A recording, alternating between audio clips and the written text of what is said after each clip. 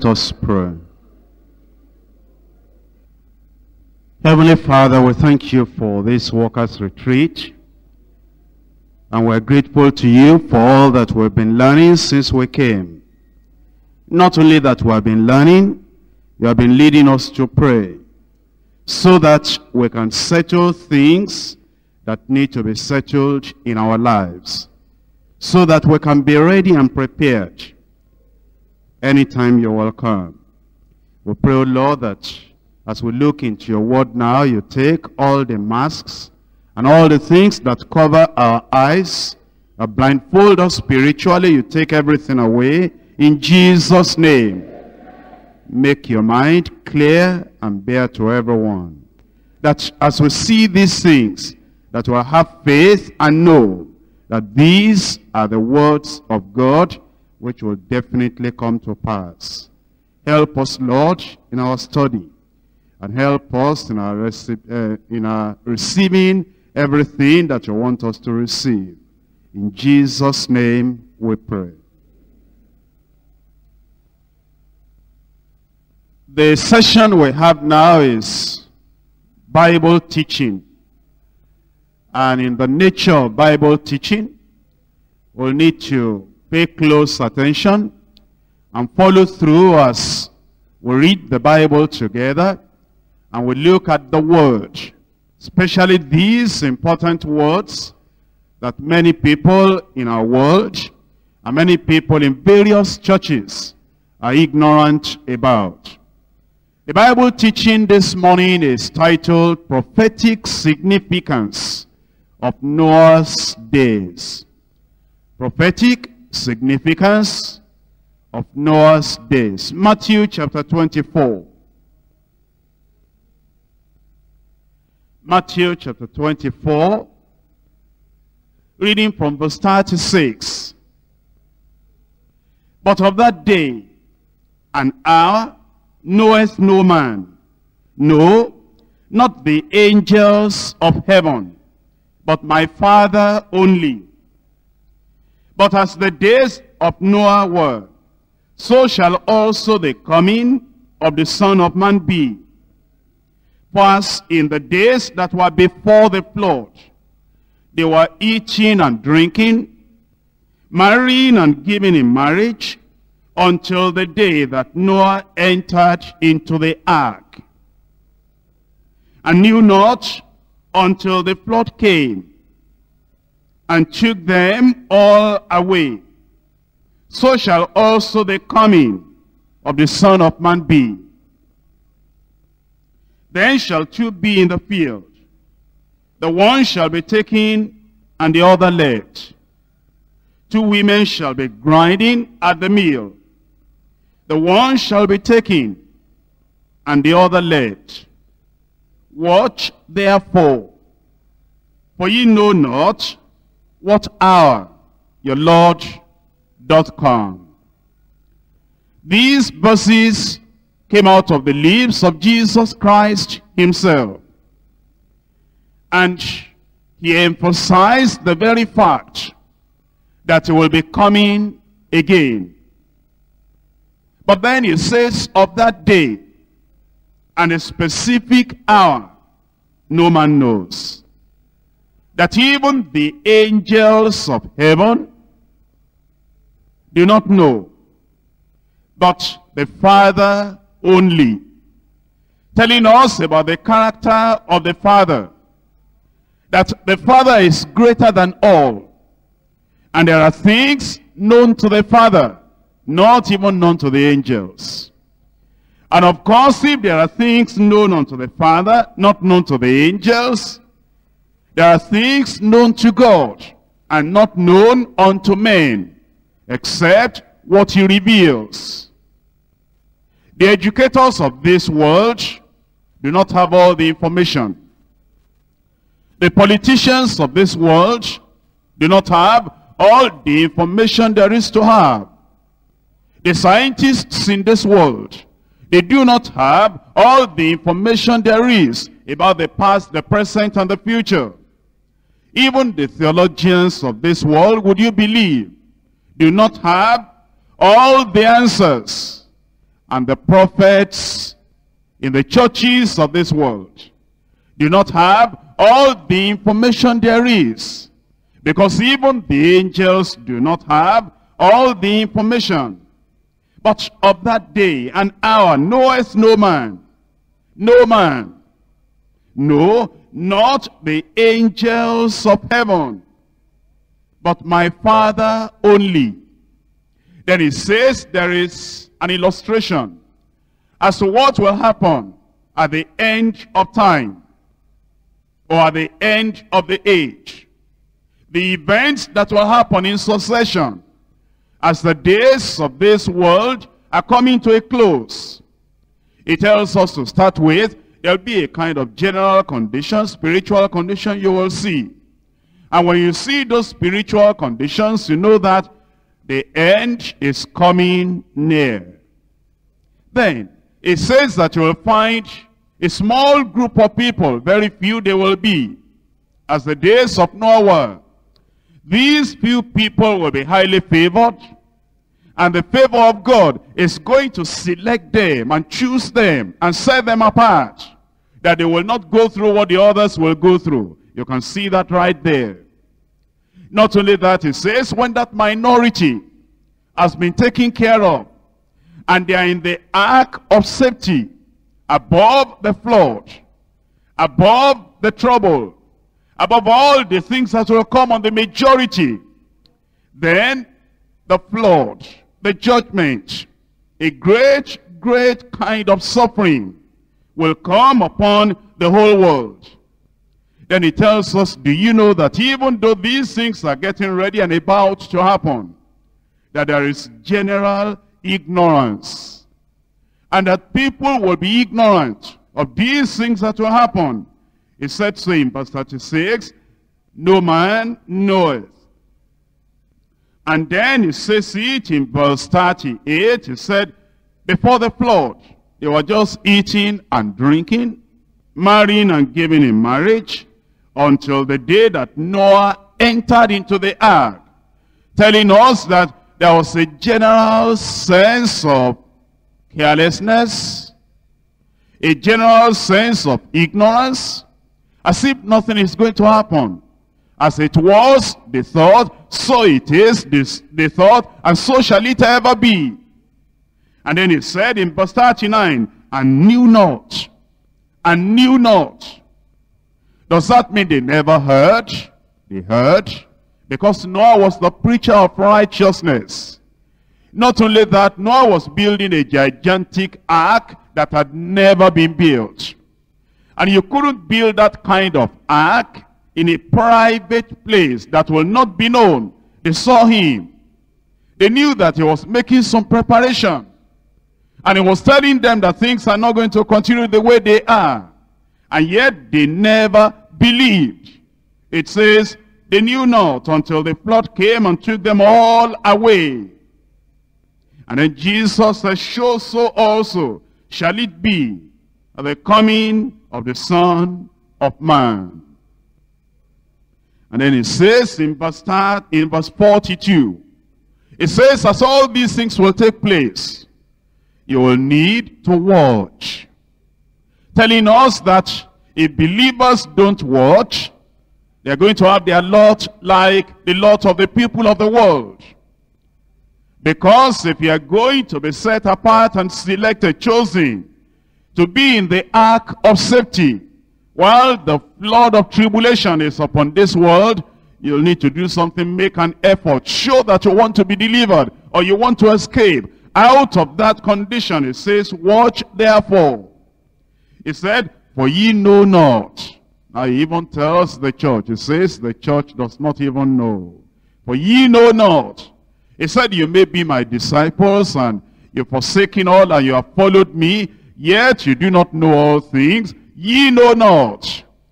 It may be that you have even listened to me and I've preached unto you and I've said this and said this. I've talked about almost everything to you, but there's something you don't know. Ye know not.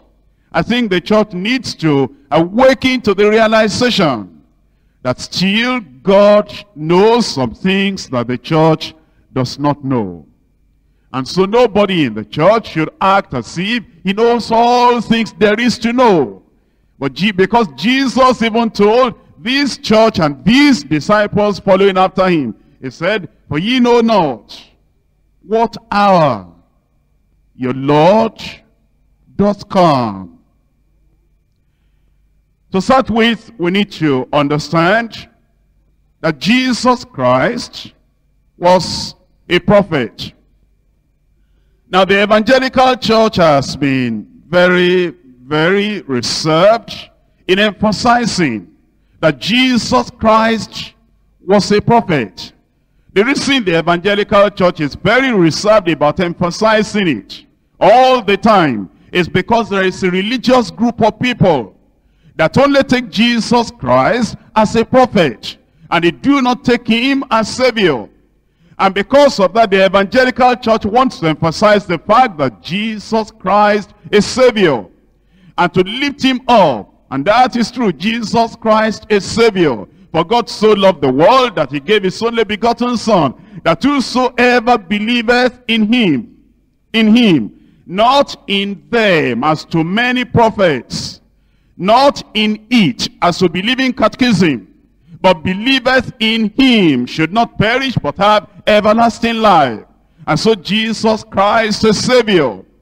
You remember that when that woman left her water pot and went to the town and then came back, although she told them that this is the one that has told me everything that I ever did. I'm sure you remember in the discussion, he said, are you a prophet? And so the prophetic ministry of Jesus was always there. But when the people came, they said, you woman, it's good what you have told us, but now we know. Not only because of your word, but because we have seen him ourselves, that this is the Savior of the world. Yes, Jesus is Savior. And we cannot take anything away from that. We cannot minimize that. We cannot limit that. We cannot diminish from that. Jesus Christ is Savior. But then you need to understand, he was also king. He was also priest. And he was also prophet. And I want you to now for a moment look at the very fact that Jesus Christ was a prophet.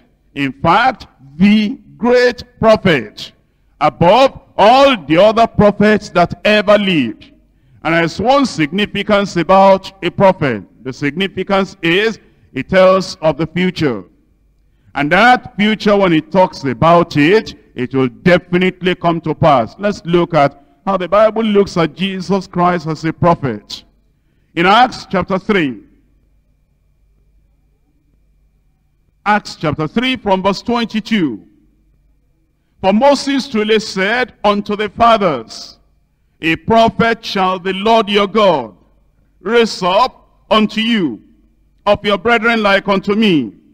Him shall ye hear in all things whatsoever he say unto he shall say unto you. And it shall come to pass that every soul which will not hear that prophet shall be destroyed from among the people. Yea, and all the prophets from Samuel and those that follow after, as many as have spoken, have likewise foretold of these days. Ye are the children of the prophets and of the covenant which God made with our fathers, saying unto Abraham, And in thy seed shall all the kindreds of the earth be blessed. Unto you first, God, having raised up his son Jesus, sent him to bless you in turning away every one of you from his iniquities.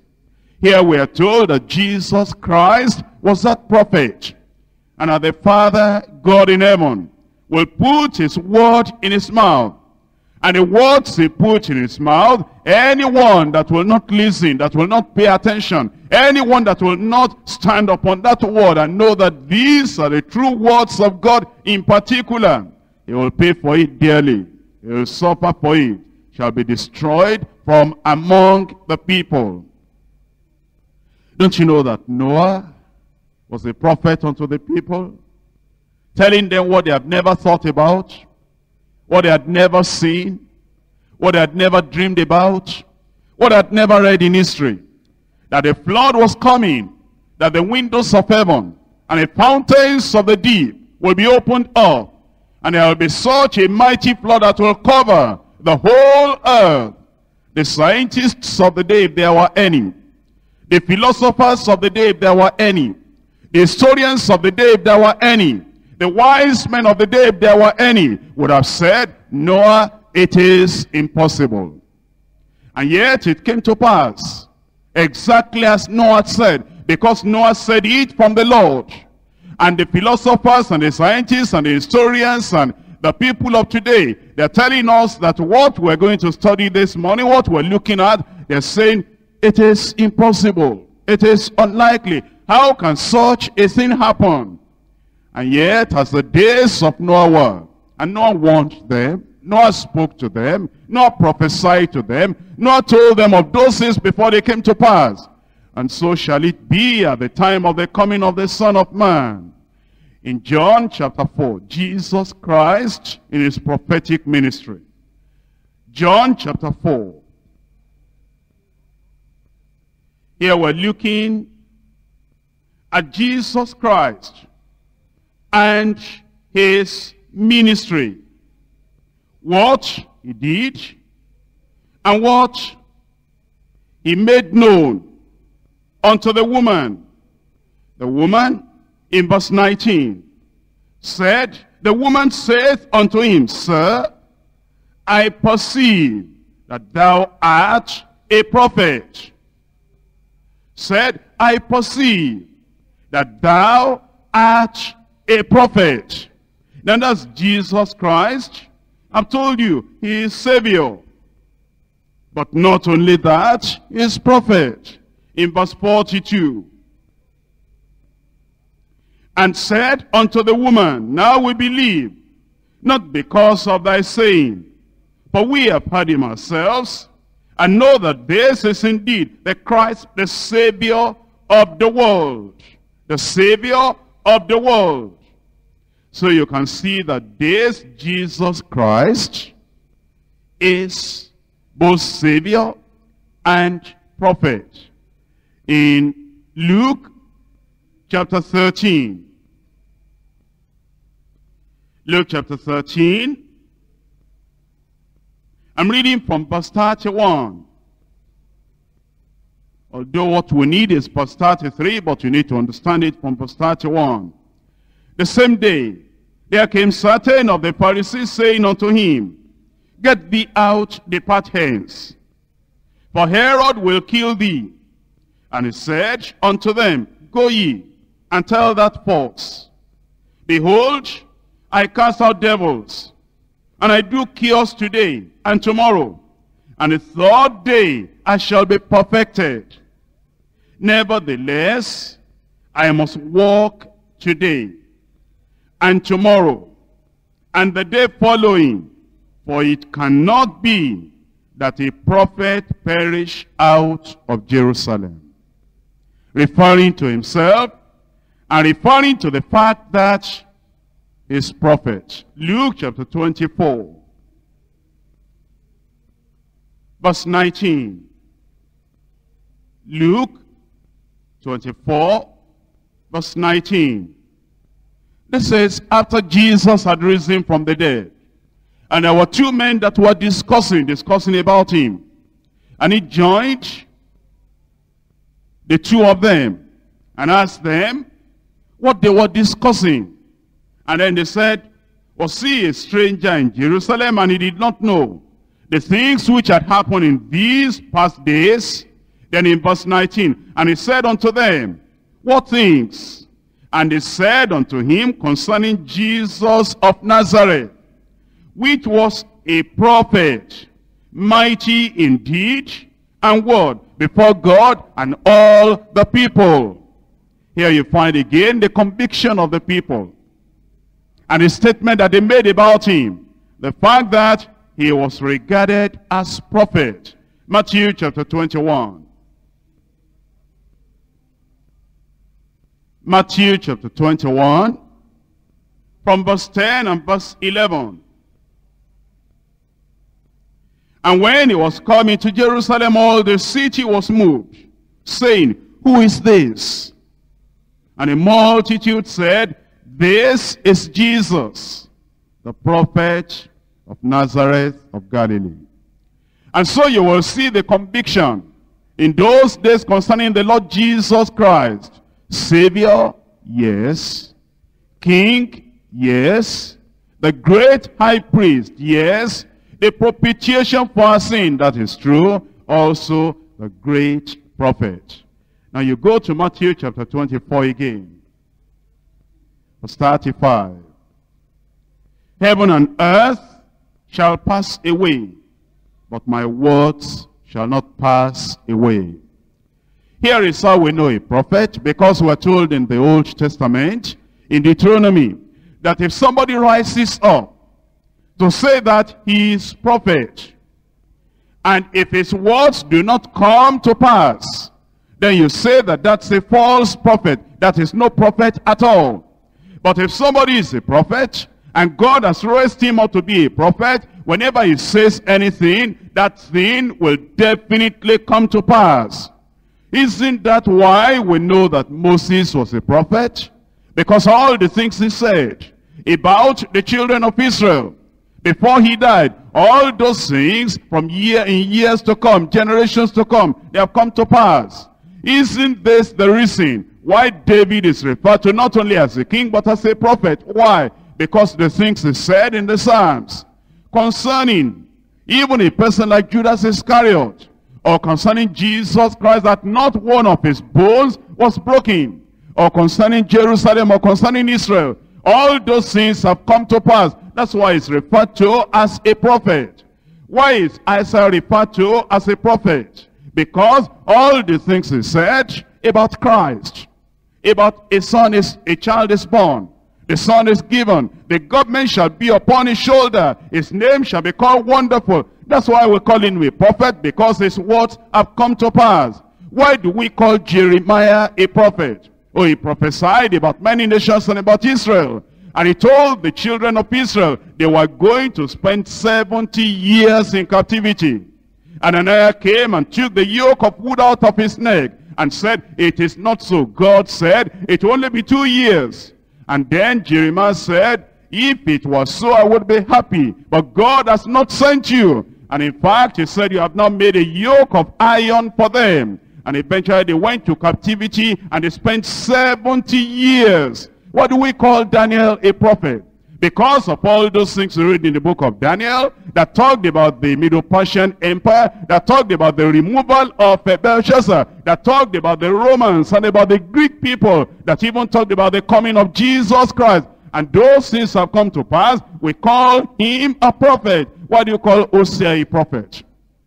Because what he said came to pass. He talked about Jesus Christ. He talked about the children of Israel. He talked about their backsliding. Talked about their coming back to the Lord. What do you call Joel a prophet? Oh, because you see what he prophesied about, the desolation of the children of Israel. Not only that, the revival that will come, because he said it shall come to pass. In those days, says the Lord, I will pour my spirit upon all flesh. And when Acts of the Apostles, chapter 2, when it occurred, and the people were amazed at saying, what is all this? Then Peter rose up and he said, this is that which was prophesied by Joel. Now when you call somebody a prophet, it means that all the things that he has said from the Lord, they do come to pass. And we have referred to Jesus Christ as prophet.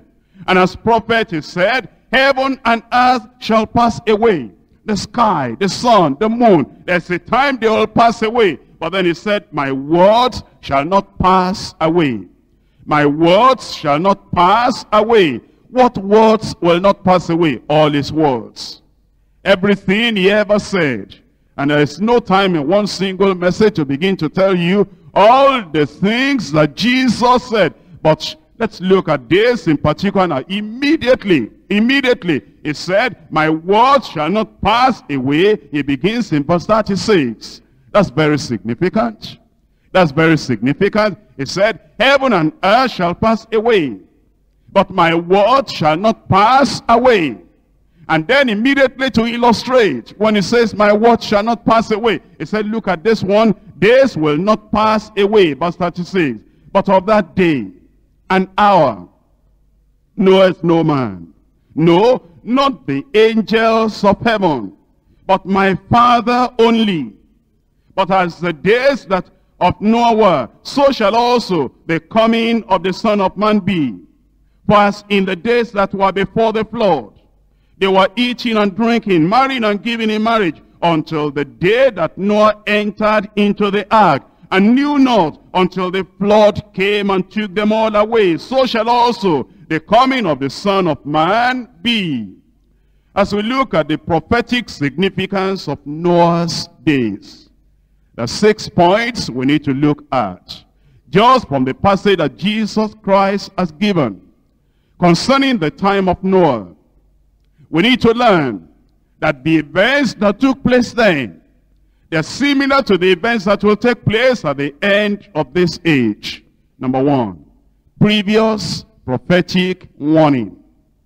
At that time, in the time of Noah, and at this time also, when we know that the end is about to come, when we know that the coming of the Lord draws near according to scripture, when we know that things are getting ready, all things are gathering up, they're gathering momentum for the appearance of the Lord and for the taking away, the rapture of the church and for the opening of the floods of tribulation and trouble and anguish upon this world.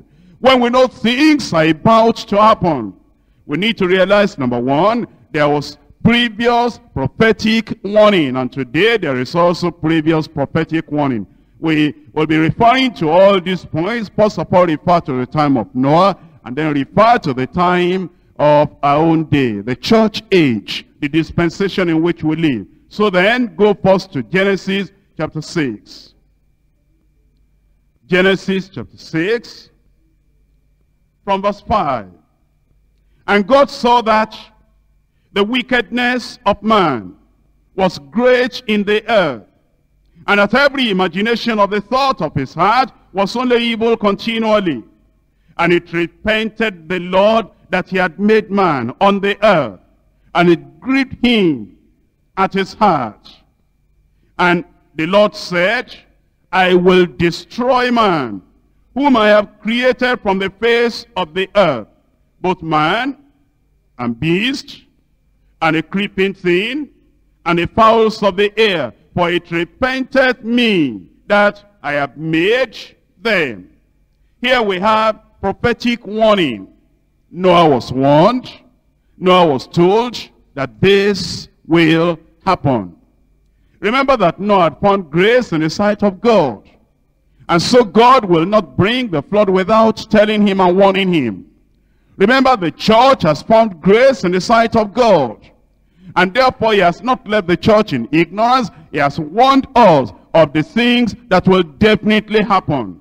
And this is part of the warning we have read in Matthew chapter 24. Look at it again. Matthew chapter 24. Here is the prophetic warning before it happens.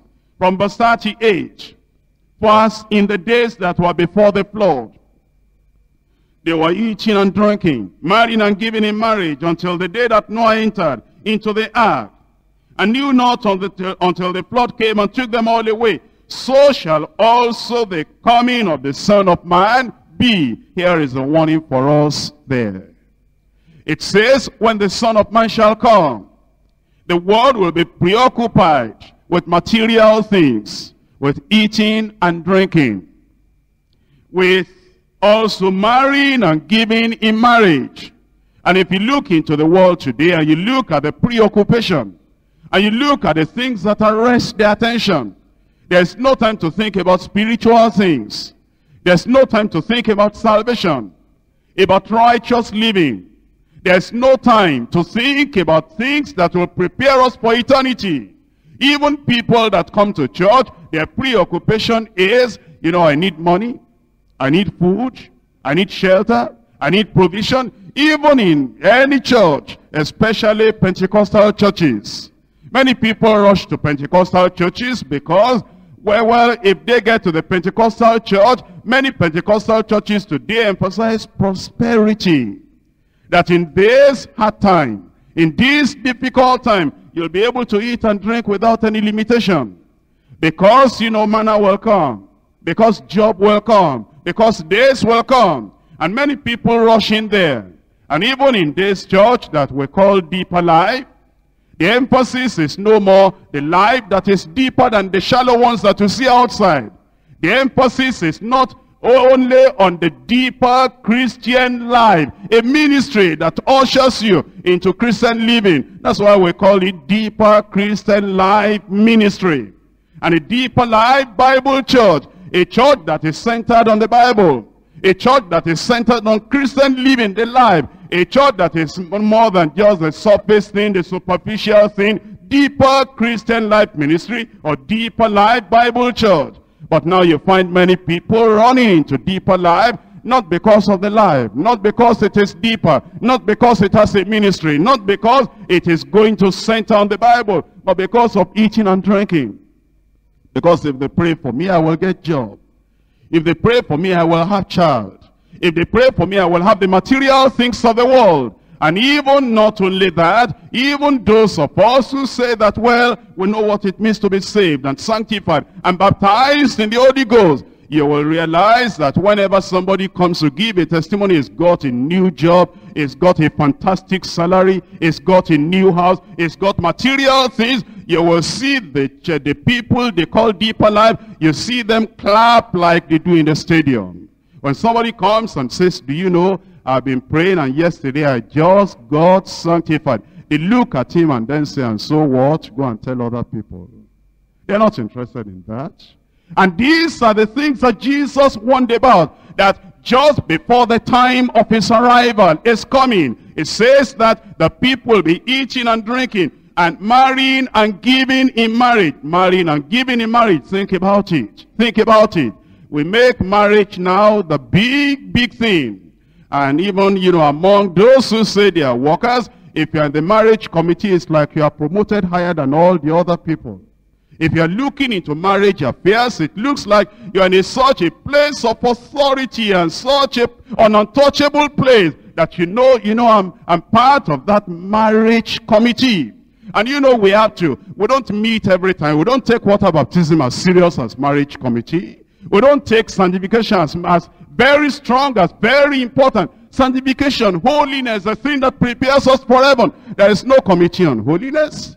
There's no committee on discipline. There's no committee on even the Lord's Supper. Think about it. There's no committee on carrying out the word of God. But there's a committee on the marriage, marriage committee. You know that, you know, everything that we do is, you know, the marriage now. And every prayer, think about prayer and think about prayer partner. There's no prayer partner on sanctification. There's no prayer partner on living for righteousness. But there's prayer partner, you know, my brother, uh, what's your condition? I've not married. What's your condition to have not married to? Let's be prayer partner. And that prayer partner, they begin to pray and begin to pray. They will pray in the night. They'll pray in the morning. They'll pray while they are walking. They'll pray with their eyes open. They'll pray in the market. They'll pray anywhere. And when one of them gets to know the will of God, and then comes to the other brother and say, I know the will of God right now. And who is the fellow? And he says, his sister so-and-so. And this prayer partner to you, that's exactly the sister so-and-so he had in mind. That prayer partnership is going to break up.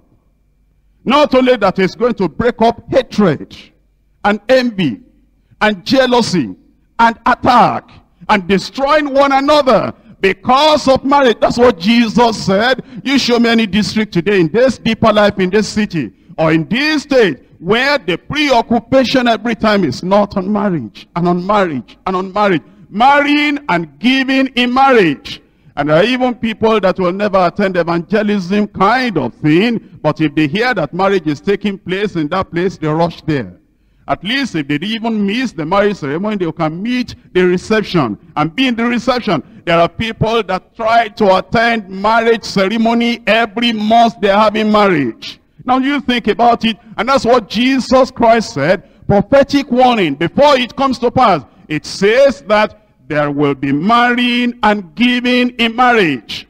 And when you think about the marrying and the giving in marriage, you realize how people run to the village to even try to get married.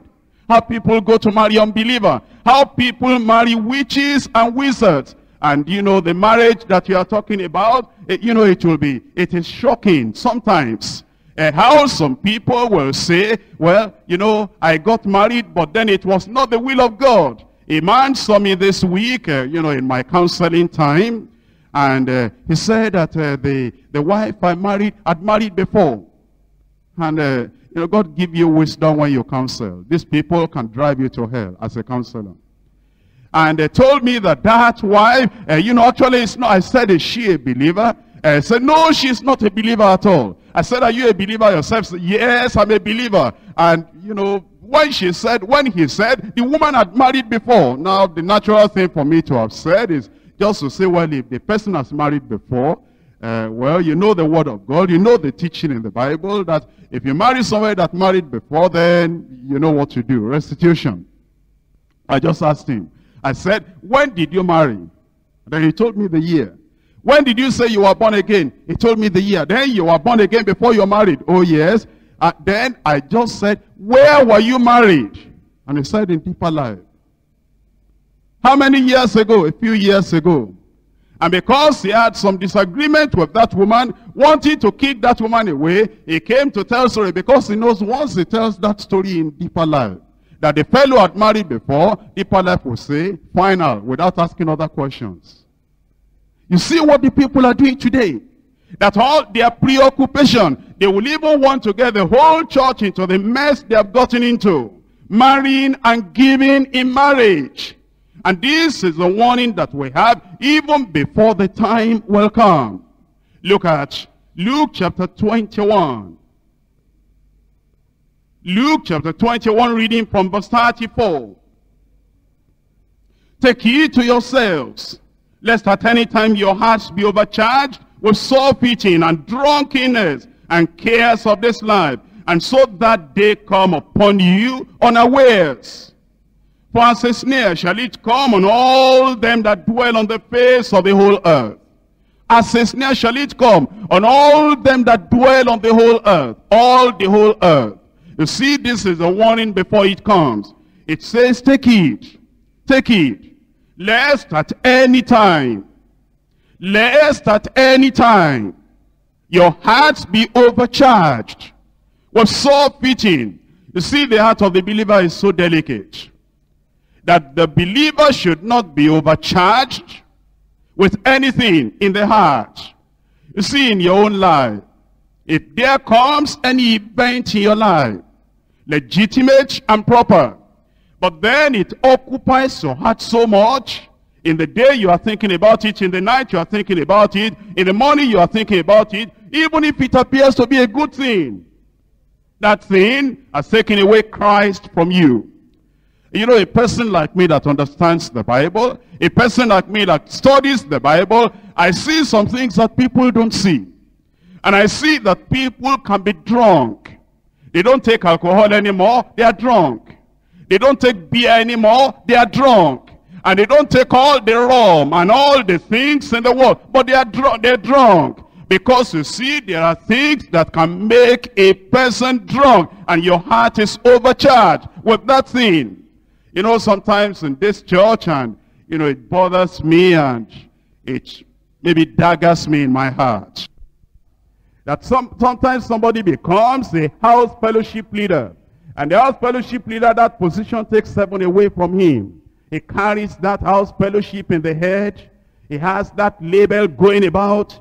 His walking is different. His attitude is different. He says, now I'm a house fellowship leader. He begins to talk raw. He begins to act raw. He begins to behave in a way he wasn't behaving before because position has made him to become drunk. And Jesus said, here is a prophetic warning before it comes that lest at any time, at any time, at any time.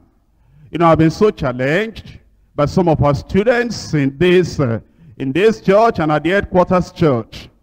And I do not want to make them proud. I just want to tell you that I was surprised. Well, I wasn't surprised in the sense I thought it could never happen. But I was surprised that in this same age and in this same generation, When I see that a lot of people, they do not take the things of God seriously.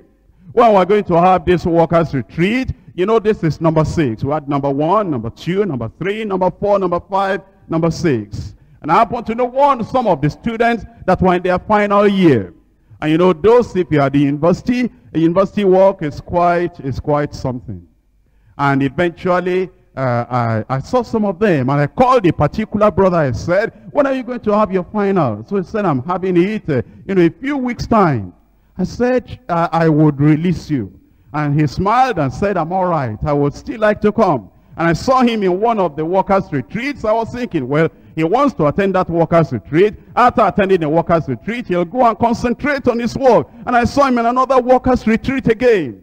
And then I think I must have called him two times. I must have said, well, make sure you prepare for your exam. Make sure that things are okay because you'll be in this university for, you know, some time and you need to get settled and uh, get your papers. Workers retreat if Jesus tarries, you know, it's still going to be there. But this exam, concentrate on it. He smiled and said, yes, all right, I'm all right, uh, Pastor.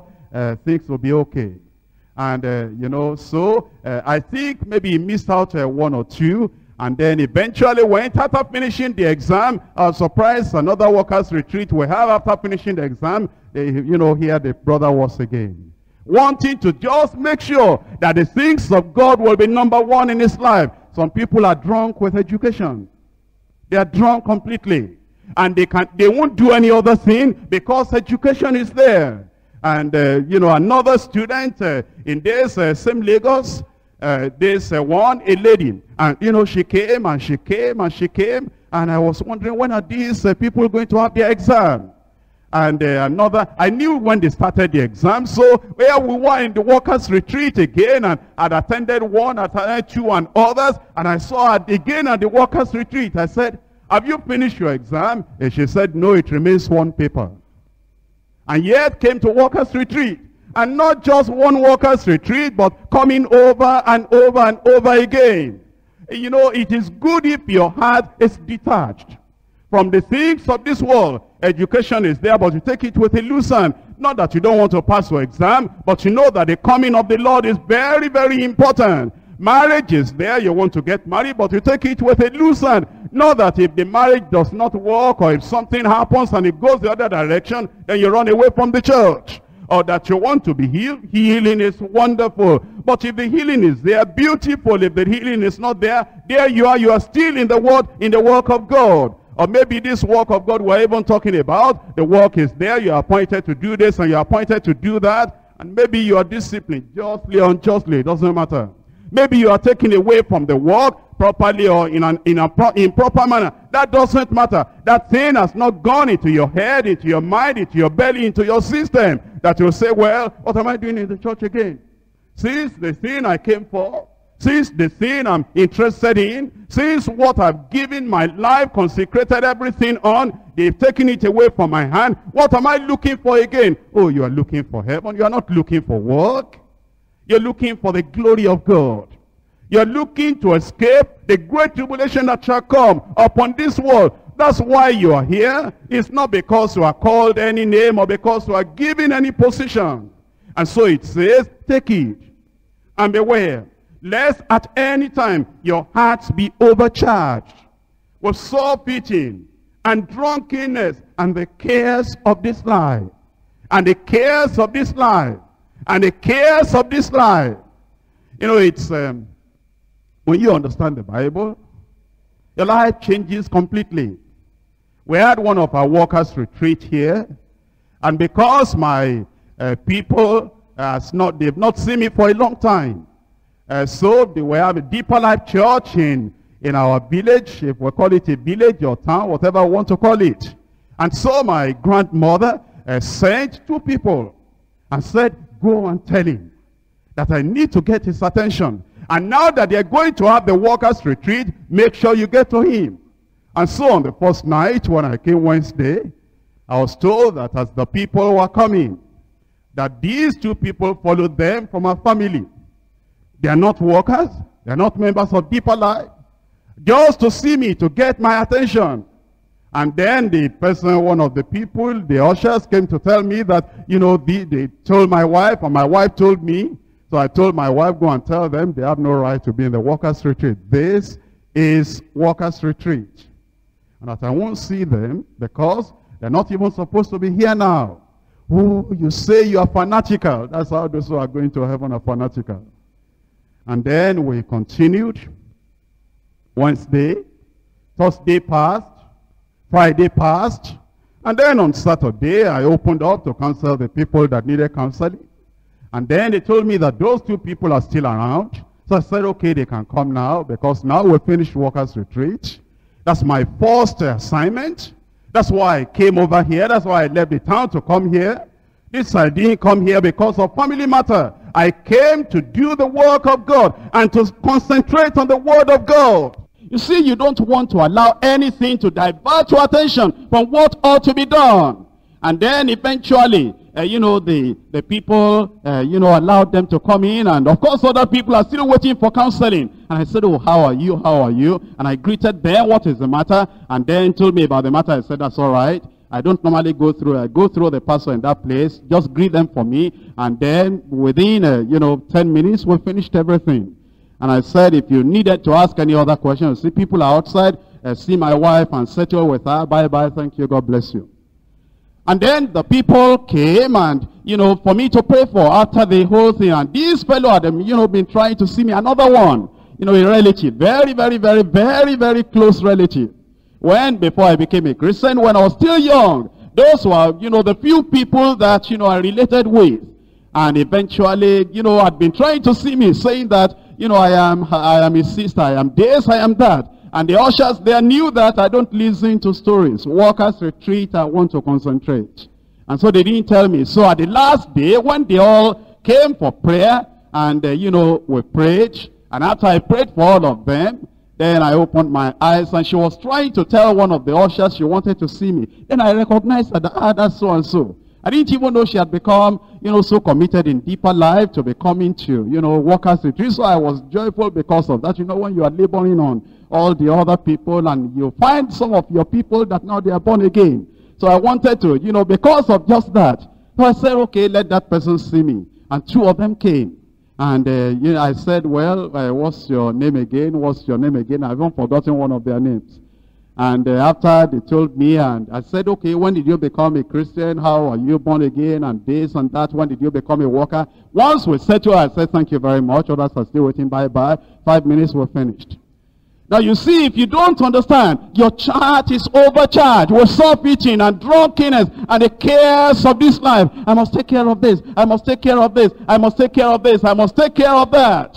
You will not understand Jesus Christ said that day will come upon you unawares. Are you telling us not to take care of, the, of our family? I'm telling you to love God more than father, more than mother, more than sisters, more than brethren. Because the Bible says if you love your father, your mother, and your brethren more than me, you are not worthy of me. Are you telling us to forsake all things? I'm telling you, Jesus himself said, don't think, don't think I've come to bring peace on the earth. I've come to bring fire and a sword and to divide in the same family, two from three and three from two. And it's only when you cling unto the Lord and you say, whatever it will take, I'm going to go with the Lord. That is the thing that will make you to abide by the warning of Scripture so that the day will not come upon you unawares. Point number two. Conditions before the flood. Conditions before the flood. You see, what, what were the conditions before the flood? And this will show you the conditions before the time of the coming of the Lord. And if you see that those conditions are here already, you better get prepared because it will not be long. When the trumpet shall sound. Conditions before the flood. Genesis chapter 6. Reading from verse 1. And it came to pass when men began to multiply on the face of the earth, and daughters were born unto them, that the sons of God saw the daughters of men, that they were fair. And he took them wives of all that they chose. And the Lord said, My spirit shall not always strive with man, for that he also is flesh. Yet his days shall be an hundred and twenty years. And then in verse 5, and God saw the wickedness of man was great in the earth, and that every imagination of the thoughts of his heart was only evil continually. And in verse 12, and God looked down, looked upon the earth, and behold, it was corrupt. For all flesh had corrupted his way upon the earth. That was the condition before the time of the flood. What will be the condition? Just before the end of this age. And just before the Lord will come. What will be the condition in 1 Timothy chapter 4? 1 Timothy chapter 4, reading from verse 1. Now the Spirit speaketh expressly, that in the latter time some shall depart from the faith, giving heed to seducing spirits and doctrines of devils. Remember this is prophetic. Remember this is telling us things that will definitely, without fail, happen near the time of the coming of the Lord. It says, the Spirit speaketh. How? Expressly. Very clearly and plainly. That in the latter time, some shall depart from the faith. Some people say there is such an eternal security. That once you have come into the faith, you can never leave the faith again. Once you are born again, you are forever born again. Once you have come into the kingdom of God, you're always ever in the kingdom of God. The prophetic word of God says no.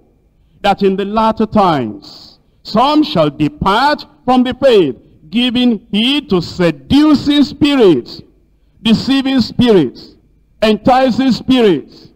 And it says to the doctrines of devils, speaking lies in hypocrisy speaking lies in hypocrisy, having their conscience seared with a hot iron. You see, there are people that are so hypocritical, and that's the sign of the last days. Hypocrisy is everywhere, everywhere, everywhere. May even be at your own doorstep. May even be in your own Christian life. It says speaking lies in hypocrisy. And then it says having a conscience that is seared with a hot iron, the conditions of the last days. In 2 Timothy chapter 3, from verse 1, This know also that in the last days perilous times shall come. For men shall be lovers of their own selves, covetous, boasters, proud, blasphemers, disobedient to parents, unthankful, unholy. Here you understand, it says, these will be the conditions of the last days. And it says it will be perilous. It will be dangerous. And it says men shall be lovers of their own selves. I know that many times when we preach about this,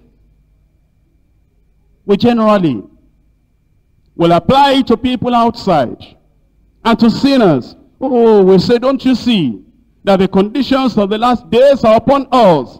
And people are lovers of their own selves. I'm going to ask you, those who say they are Christians in your district, in your area, are they not lovers of their own selves? They hide their faults. They magnify the faults of other people. They expose the faults of other people. They report this person is doing this, this person is doing this, this person is doing that. And the, fellow, the lady talking herself is a criminal, is a sinner. It's a secret sinner. And yet, lovers of their own selves. And they take care of themselves. Don't you see if we're serving food? Don't you see the people out they care for themselves and they don't care whether anything gets to other people? Don't you see if we get to the hostel, the way we look for the best for ourselves and we do not look, we don't think about the other people, lovers of their own selves. And don't you see how we, how we take care of our people? You know, in this uh, church, I praise the name of God. I do not allow my relatives to, you know, take any position. And I have some people that I know are born again, very, very close. In fact, uh, some of them, uh, you know, bear the same surname with me. Not in Lagos here, outside. In fact, I've been so very strict. I do not allow people of the same mother, the same father to get to any member of the church. I want the particular brother of mine, I said, if you come to this Lagos to use my name with any member of the church to get anything, I'll be very serious with you. And because of that, he couldn't even get a job in Lagos. I wouldn't allow him to stay here and use my name. I said you can get to another town, you can be in another place. Deeper life is not a family thing that you don't use my name just because you have the same parents. You see, there are people that don't understand, and they will put, uh, you know, their junior brother there, their junior sister there, even when these people are not qualified to work for God, when they are not qualified spiritually. And if you see those uh, relatives of theirs do anything wrong, and you say, um, you know, coordinator or so and so, look at so and so, you say, yes, yes, you know, give him time to grow.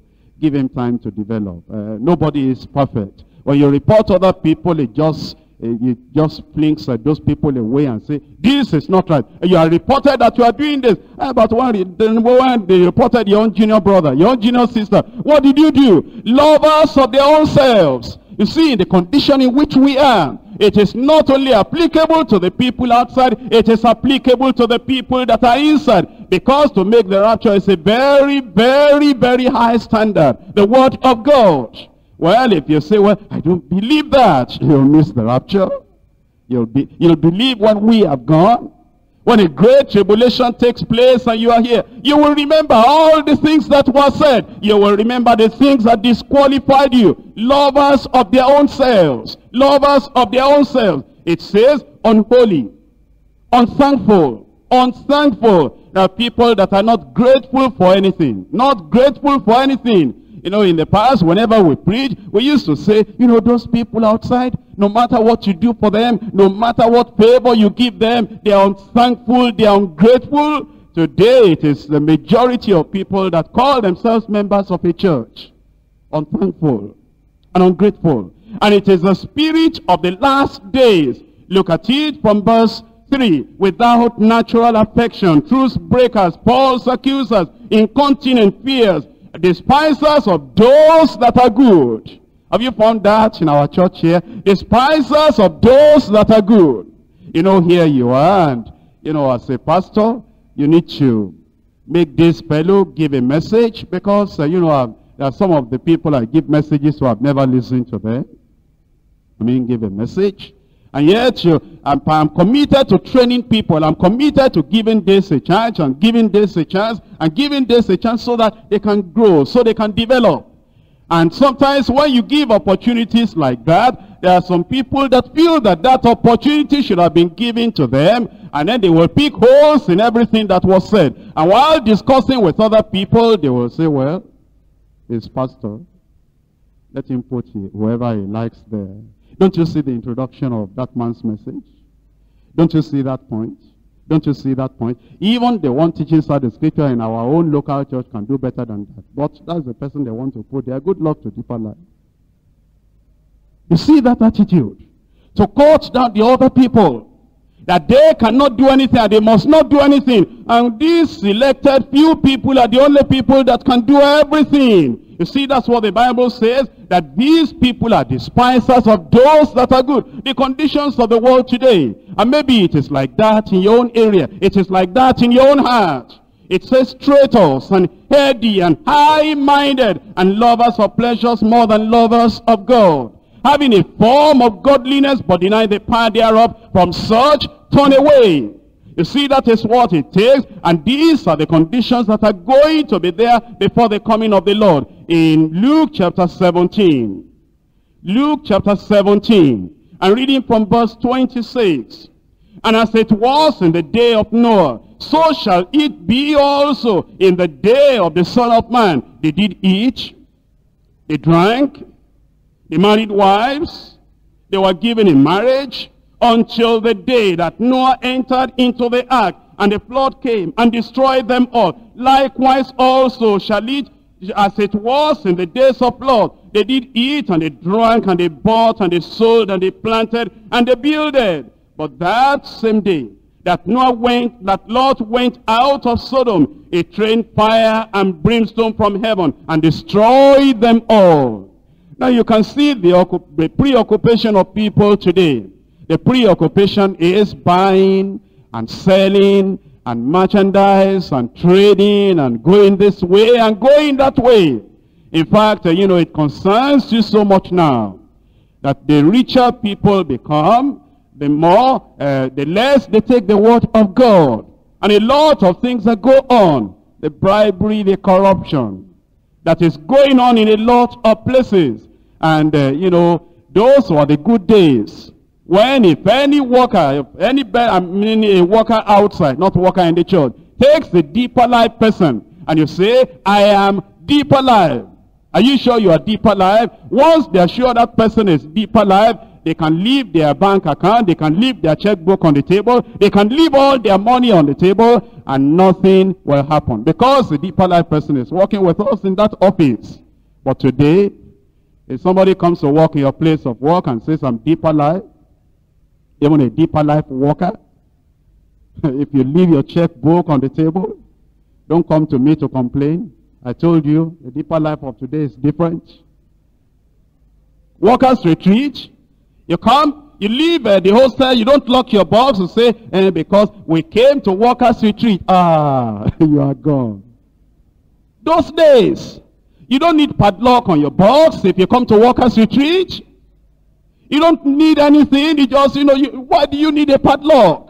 All your salary, you have just finished, you have just collected your salary. You put it in your box and you run to workers retreat without any padlock. Nobody will touch your money. Those are workers of deeper life. Today, you leave your transport money to go back home in your box. And say workers, you workers retreat. Before you finish this message I'm talking about, check up in your box. Something has happened. Oh, the Lord is about to come. Conditions of the last days. That people, they want money at all costs. They want material things at all costs. And this is the reason why those of us who have responsibility of preaching in this church say it the way it is. Of course, people, they may hate you. What's the problem with you? The stone steaming. If they stone you will come and bury you and you go to heaven. When they are stoning you, look up and see Jesus Christ standing on the right hand of God. But if you are afraid they will insult you, they will abuse you, they will stone you, you cannot work for God and you cannot preach the gospel. And so let us understand, these are the conditions of the things that will be happening when it comes near to the time of Christ's appearance. Number three, certainty of his coming. The certainty of his coming. Let's go back to Genesis again. Genesis chapter 6 from verse 17. Genesis chapter 6 from verse 17. And behold, I, even I, do bring a flood of waters upon the earth to destroy all flesh, wherein is the breath of life from under heaven. And everything that is in the earth shall die.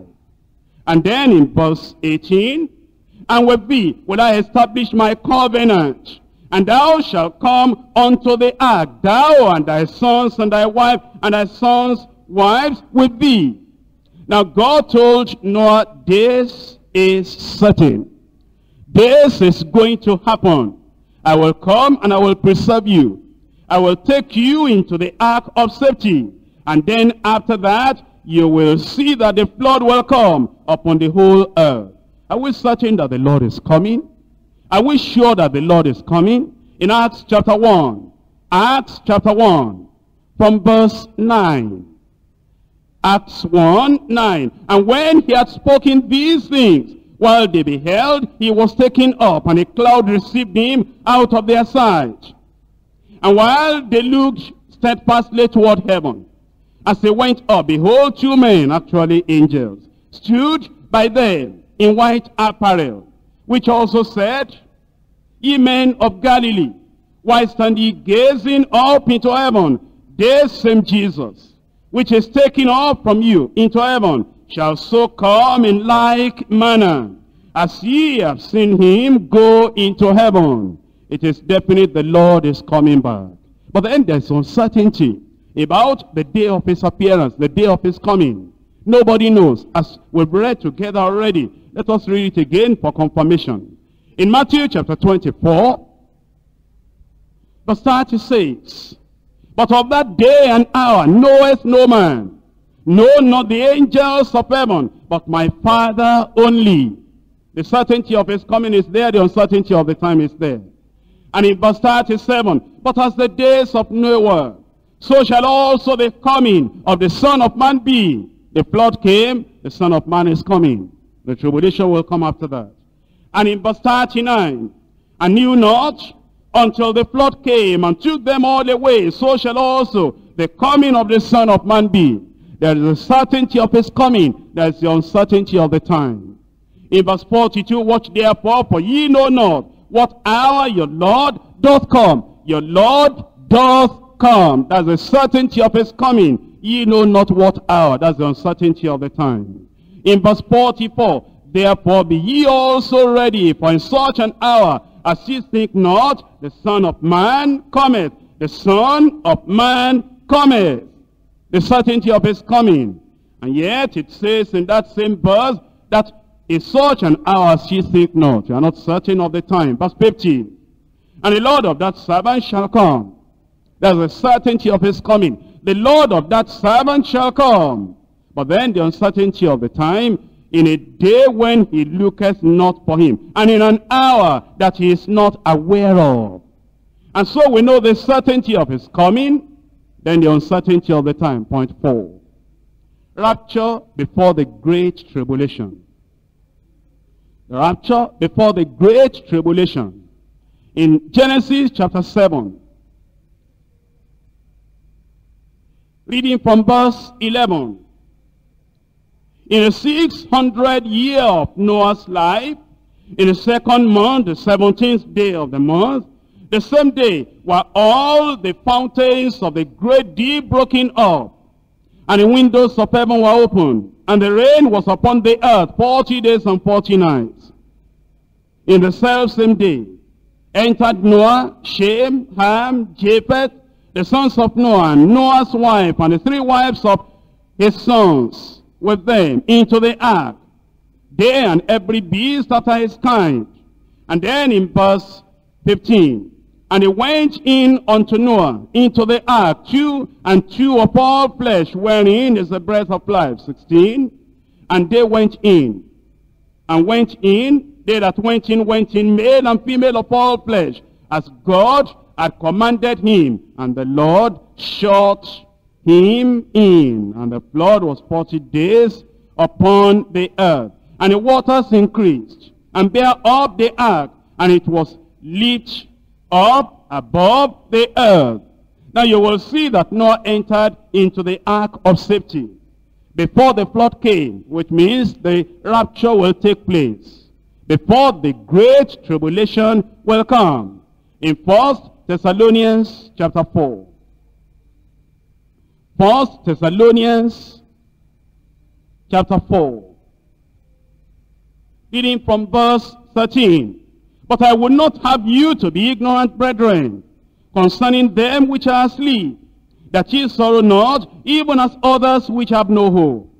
For if we believe that Jesus died and rose again, even so them also which sleep in Jesus will God bring with him. For this we say unto you by the word of the Lord, that we which are alive and remain unto the coming of the Lord shall not prevent them which are asleep. For the Lord himself shall descend from heaven with a shout, with the voice of the archangel, and with the trump of God, and the dead in Christ shall rise forth. Then we which are alive and remain shall be caught up. That's the rapture. We which are alive and remain shall be caught up together with them in the clouds to meet the Lord in the air. And so shall we ever be with the Lord. Wherefore comfort one another with these words. The rapture will take place. The dead in Christ will rise. And then those of us who are alive at that time will be changed and transformed ever to be with the Lord. First Corinthians chapter 15 verses 51 and 52. First Corinthians 15 verse 51. Behold, I show you a mystery. We shall not all sleep, but we shall all be changed. In a moment, in a twinkling of an eye, at the last trump. For the trumpet shall sound, and the dead shall be raised incorruptible, and we shall be changed. And so we know that the rapture is going to take place. And it can take place anytime, any moment from now. And the moment the church is gone, the moment the church is taken away, immediately the great tribulation will come upon this world. That's point five. Tribulation and judgment of the ungodly. the great tribulation will happen after the church has been taken away. In Genesis chapter 7, verses 21 and 22. Remember Noah and the family that found grace in the sight of God were now saved in the ark. By the time you come to this verse 21 of Genesis chapter 7, and all flesh died that moved upon the earth, both fowl and of cattle and of beasts and of every creeping thing that creepeth upon the earth, and every man, all in whose nostrils was the breath of life of all that was in the land, they died. And so you will see that the suffering came, the judgment came upon the ungodly after the people had been saved in the ark in Second Peter. Second Peter chapter 2, verses 4 and 5. Second Peter chapter 2, verses 4 and 5. For if God spared not the angels that sinned, but cast them down to hell, and delivered them into chains of darkness to be reserved unto judgment, and spared not the old world, but saved Noah, the eighth person, a preacher of righteousness, bringing in the flood upon the world of the ungodly. After the uh, family had been saved, away from the judgment, away from the flood. Then the judgment, the wrath of God came upon the ungodly. After the church had been taken away, after the church had been raptured, then the great tribulation will come upon the people that are still, that are left in the world. What will the great tribulation look like? In Matthew chapter 24, from verse 21, for then shall be great tribulation, such as was not since the beginning of the world to this time, no, nor ever shall be. And except those days shall be shortened, there shall no flesh be saved. But for the elect's sake, the Jews, Israelites, those days shall be shortened. It tells us of the intensity of problem, wrath of God, indignation and judgment, that will come upon the land, the world at that time. In Jeremiah chapter 30. Jeremiah chapter 30 from verse 6. Ask ye now and see whether a man does travail with child. Wherefore do I see every man with his sons on his loins as a woman in travail and all faces are turned into paleness. Alas, for that day is great, so that none is like it. It is even the time of Jacob's trouble. But he, Jacob, but he, a remnant of Israel, shall be saved out of it. And so the time of the great tribulation will be a time of great wrath, a time of great suffering, we cannot exhaust the suffering of the time of the Great Tribulation, but let's look at a few references. Revelation chapter 6.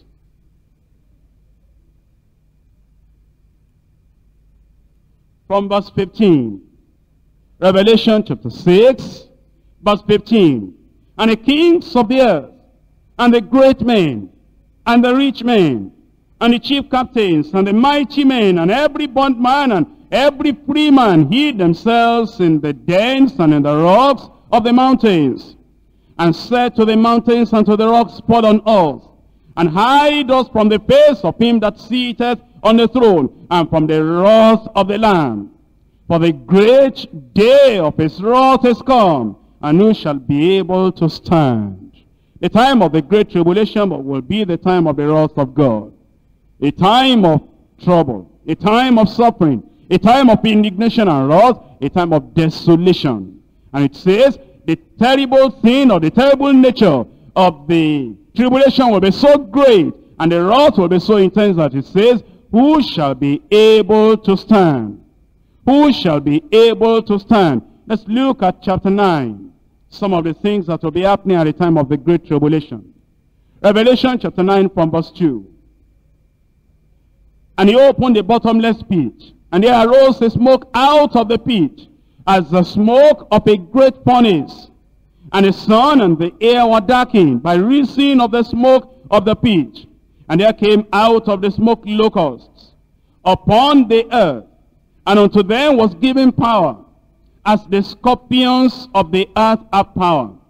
And it was commanded them that they should not hurt grass or of the earth, neither any green thing, neither any tree, but only those men which have not the seal of God in their foreheads. And to them it was given that they should not kill them, but that they should be tormented five months. And their torment was as the torment of a scorpion when it striketh a man. At the time of the great tribulation, well, there will be a lot of trouble, not enough food to eat. There will be lots of sickness. Not only that, this peculiar demonic satanic thing released upon the whole world. That the locusts will bite men, sting men, and the pain of that sting or stinging will remain there for five months. And there will be no injection that can kill the pains. It will be so terrible. In fact, the Bible says they will be looking for death. They will not die. In verse 6. And in those days shall men seek death and shall not find it. And shall desire to die and death shall flee from them. When the condition is so tense and so terrible that people will want to die and yet there will be no death. Because of the pain. It will be a terrible thing to still be here at the time of the great tribulation in verses 20 and 21. And the rest of the men, which were not killed by these plagues, yet repented not of the works of their hands, that they should not worship the devils, and idols of gold, and silver, and brass, and stone, and of wood, which neither can see, nor hear, nor walk, neither repented they of their murders, nor of their sorceries, nor of their fornication, nor of their thefts. Here you see the, the terrible thing that will happen. And yet all that will not make the people to repent. All that will not make the people to repent. They will still continue in their rebellion. Is it not happening today? That sometimes you find there are people now in the world that they have been sick. And yet in their sickness they will not seek the Lord. They will not uh, pray to the Lord. In their sickness, they will not say, well, I know that I've done wrong. I know that this sin I've done is not right. I need to seek the Lord. It says that they still continue with their sorceries and their fornication and their evil. The same thing you even find in the church. You see, discipline is supposed to correct. It's supposed to chastise a person to the point he feels or she feels the pain. And then says, because I know that I'm being chastised for my sin, for my error, for my weakness, for the frailty of my life, I should not continue like that. But unfortunately, do you know that in the days in which we live now, discipline doesn't change people anymore? You discipline them, you say, and so what? You correct them and they say, and so what? If, uh, you know, if uh, it's so hard in this place, I go to another place. Instead of the discipline or the correction or the chastisement, correcting them, it just makes them to continue the way they are. And you know, I see that not only in the ordinary house fellowship leaders, if we call them ordinary, I see that in various places. I see that in various categories of workers. And, you know, especially, I notice that it is when I talk against a sin and I read all the Bible, I can read about it. And I say, this is not right. Deeper life must change. And the people that are peculiarly behaving in such a bad way, and they do that thing after that message to show me that, you know, no matter what you preach, no matter what you say, when deeper life, when deeper life, there's nothing you can do about it. They just repeat exactly the same thing. You will think that if we have two weeks of study scripture on hypocrisy, you will think after two weeks of study scripture on hypocrisy, hypocrisy will die. You will never hear about hypocrisy in the church anymore. I'm telling you that two weeks of learning again, learning something against hypocrisy has not solved the problem. And all the question and answer that the pastor can handle on hypocrisy and whatever it is, it has not solved the problem. And if you mention it in the preaching, you mention humility. In fact, the more I talk about humility, the more people become proud. Just to show that, well, Pastor, if that is your definition of humility, I'm sorry, I don't take that definition. The way I was doing before, exactly what I will do. that thing will multiply. At the time of the great tribulation, that thing will multiply. At the time when the church has been taken away, I mean the true church, the glorious church, the sanctified ones, when the church has been taken away and then the wrath will come, you will think that the people are going to repent and they are going to change. The Bible says no, they will even be cursing God who has brought all that plague and all that wrath and all that chastisement upon them. If your life is like that, don't you know that that is the spirit of the time of the tribulation, the time of the great tribulation, that you will never listen to correction, you will never make a change in your life. Exactly the evil you were doing before is the evil that you continue. But I think in a workers' retreat like this, we should allow the grace of God to come in. Because if the workers' retreat does not change us, the general retreat is not going to change us, and the Sunday worship is not going to change us, and the Monday Bible study case set is not going to change us. And the combined service Thursday is not going to change us. Because this uh, workers retreat is the highest thing that we know in deeper life that can change people. That can turn people around. That can knock them and pierce them. That can make them get on their knees before God and say, God, if I've done evil, I will do no more. And that's the reason we're here. I pray we will change. And you know you are not changing for me. You are changing to make the rapture. You are not changing because of me. You are changing because you want to please the Lord. You are changing because you know that the Bible says, without holiness no man shall see the Lord. You are changing because the Bible says, my son, despise not the chastening of the Lord, because whom he loves, he chastises, so that we be partakers of his holiness. So it is very, very important. Our lives must change. And if you are just here, that, uh, you know, you are just there because I just want to go to that workers retreat because I know what I'm going to do. Since they stopped our language church, I've not been happy with deeper life. Who introduced language church? You didn't appeal to me before language church came. You didn't write petition before language church came. I came up and arranged the language church. And if I arrange the language church, don't I have the right to rearrange the language church? Who made you a language coordinator? Didn't, it wasn't it the pastor that said, okay, let's have a coordinator there, let's have a coordinator there? And then after I made it and I saw that we need to make some corrections and develop you before you can continue. I say, now let us do it this way again. Why are you angry? What's the problem with you? Did you pay for it? Are you doing anything to merit it? Is it not by grace alone?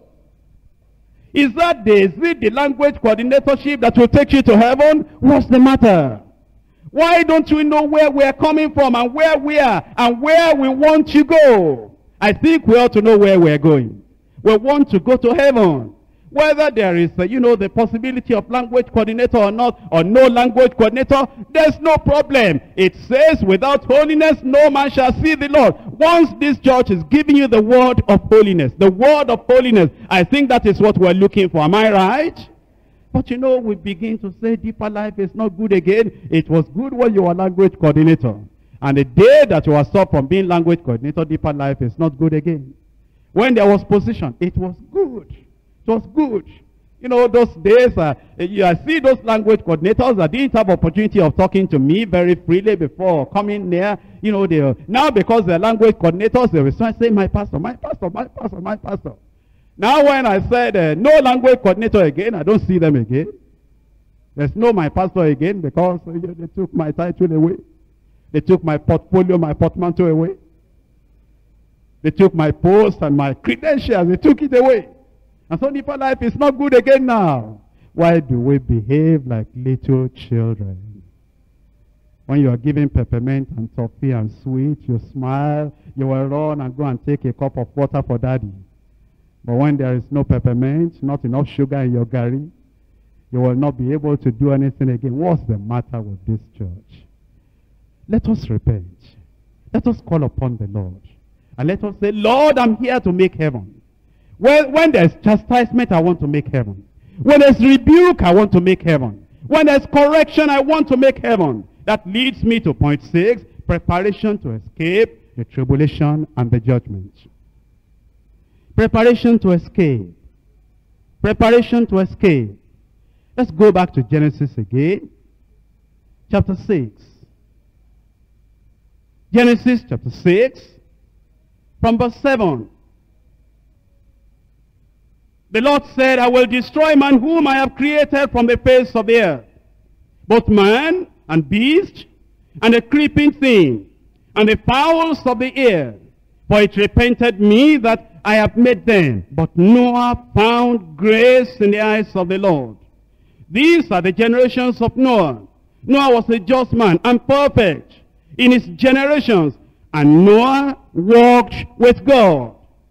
That's how he escaped that judgment, he escaped the flood. He walked with God. How about today? How can we escape? Luke chapter 21. Luke chapter 21 from verse 36. Watch ye therefore and pray always. Watch ye therefore and pray always. What should be the item of our prayer request? That ye may be accounted worthy to escape all these things that shall come to pass and shall and to stand before the Son of Man. Well, the first thing you notice here is this. If it is automatic for every believer, every Christian, every disciple, everyone that is reading the Bible, everyone that is called by the name of Christ, if it is automatic to escape the great tribulation, Jesus would not have said, watch ye therefore and pray always. Pray always. This is not a prayer you pray only once. Or a prayer you pray only twice. Or prayer you pray only a few times. It says you will watch therefore and you pray always. You pray that you may be able to, you may be accounted worthy to escape. All the things that shall come to pass so that you can stand before the Son of Man. Why would Jesus say you pray always? Well, you won't see the invisible enemy. But there's a Satan out there. Very, very close and very near to you. That since you took the step, I want to go to heaven, it says, ah, how can you go to heaven when I've been bad, when I've been taken away from heaven? I'm going to hell. It says, no, you will not go. And don't you remember, since you became born again, it has been battle over battle. Battle in the home, battle in the local church, battle in the extended family, battle in the place of work, battle among friends, battle among relatives. What's that telling you? Oh, it's telling you that the devil says, no, you are not going. No, you are not going. Since you became a Christian, and every time you say, I want to make heaven, I want to make heaven, the devil says, no, you, you cannot make it. And it may make so much trouble. That's why you need to watch and pray always. Watch and pray always. You know, sometimes you want to travel and you are at the airport. And it happens that the plane is delayed. And as the plane is delayed, you're already dozing. And where you are sitting with your box by your side and valuables on your side, maybe the money you are taking away or whatever it is you have, it's right in that bag. And there are hundreds and thousands of people, they will not sleep. They'll be walking up and down. Walking for the, watching for the careless one that will just snatch the bag while you doze off. By the time you wake up, every valuable thing is gone. You say, what? Where is my money? Where is my passport? Where is my ticket? Where is this? Where is that? Everything is gone. Here we are at the airport of the event of the last days. But the plane is delayed. The Lord, we thought he would have come. But he has not come yet. And here we are now. Although we have checked in, we have bought our ticket, we are born again, we have this genuine salvation of God within us. But then the flesh is weak. We are getting weary. We are getting tired. And a lot of things are happening. And here are demons going up and down.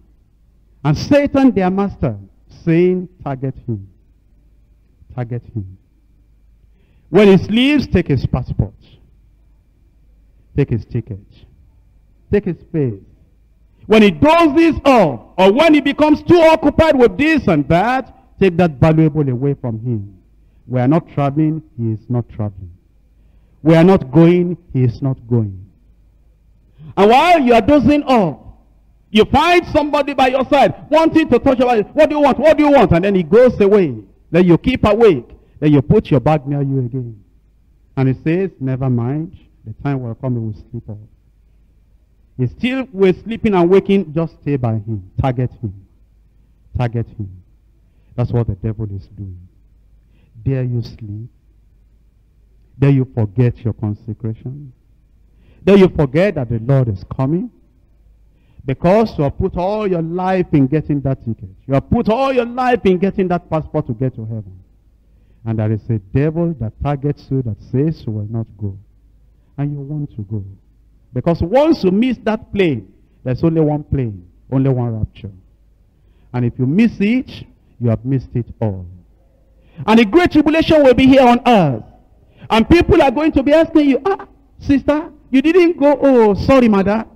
Brother, you didn't go. Why? Ah, your pastor has gone. All those your leaders have gone. Rise up and let us talk to the Lord in prayer. That by the grace of God you will make it. By the grace of God you will make it.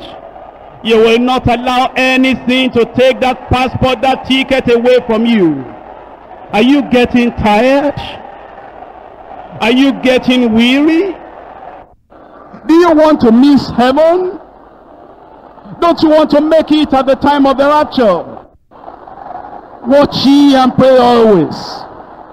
I'm so excited today because God has been so faithful to me. I'm going to keep this very short. First of all, I want to thank God for the church. The church has been my family. Um, thank you so much, Pastor Dada. He has been a father to me. I don't start crying. Okay, um, I remember I came here without um, scholarship to Harvard University. The first year wasn't easy, but I got a grant that paid half of my tuition. But then from second year, I got like five different scholarships from my department. I just thank God. Third year, the same thing. And then thank God because I'll be graduating in May. I didn't have to take out a loan. I just thank God for all his provisions. I just Praise